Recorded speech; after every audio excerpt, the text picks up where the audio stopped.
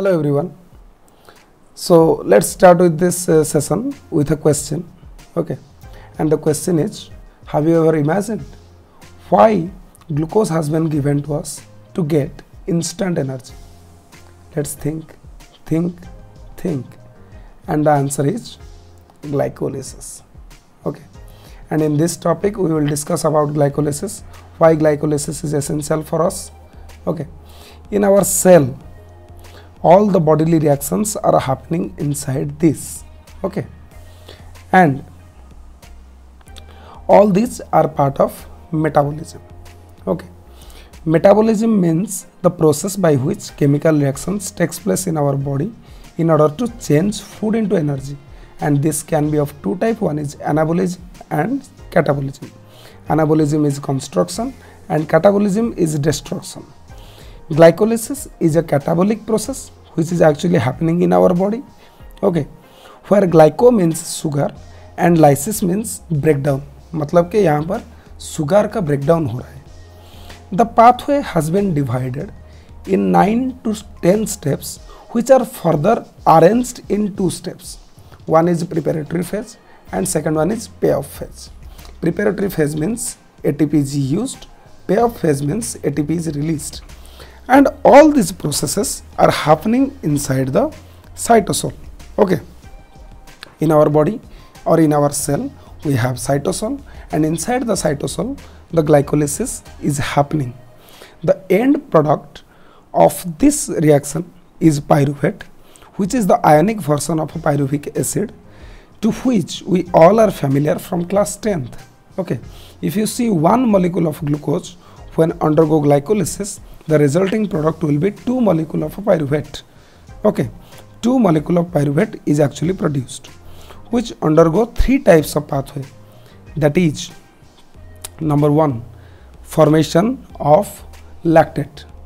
Second one conversion to acetyl coenzyme A. And the third point is ethanol formation in the anaerobic respiration process. And acetyl coenzyme A is undergo tricarboxylic acid pathway okay or tricarboxylic acid cycle and that is also known as Krebs cycle. Now let us discuss about the pathway in detail. Okay, the pathway is starting from glucose where glucose will converted to glucose 6 phosphate. Okay, we will see these steps st uh, step by step. Okay, glucose is produced to glucose 6 phosphate by the influence of ATP changing to ADP. Okay, if we see ATP is produced to ADP and the enzyme is used here that is hexokinase plus magnesium is used as a cofactor. Then the next step, okay, in the next step we will see the conversion of a glucose 6 phosphate to fructose 6 phosphate and here phosphohexoisomerase is the enzyme that is responsible. Okay. Then fructose 6 phosphate is converted to fructose 1,6 bisphosphate why 1,6 bisphosphate not diphosphate? I will tell about this. Here also atp is produced to adp and one atp is used to produce the bisphosphate group. Okay. And the enzyme is used is phosphofructokinase 1 Bisphosphate means here the phosphate groups are in separate position. One is in one position and the other one is in sixth position. If the phosphate will be at two same position, matlab if the phosphate will be at the sixth position. If the two phosphates are in the sixth position, then we will tell that diphosphate. But as they are in different position, we will call them as bisphosphate. Then the next process is formation of a glyceraldehyde 3 phosphate and the formation of dihydroxyacetone phosphate. We will see how these are produced because fructose 1,6 bisphosphate that is a 6 carbon compound and these two are 3 carbon compound. This reaction is done by the influence of aldolase enzyme and glyceraldehyde 3-phosphate and dihydroxyacetone phosphate.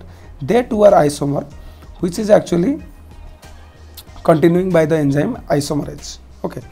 If you see glyceraldehyde 3 phosphate and dihydroxyacetone phosphate they will undergo same pathway. Okay.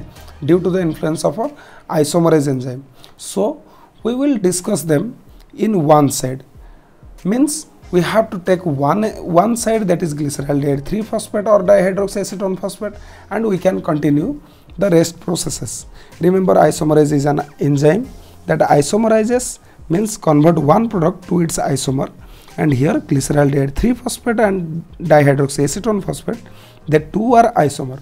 So from this stage the formation of a pyruvate starts. And also remember from this point the payoff phase also starts.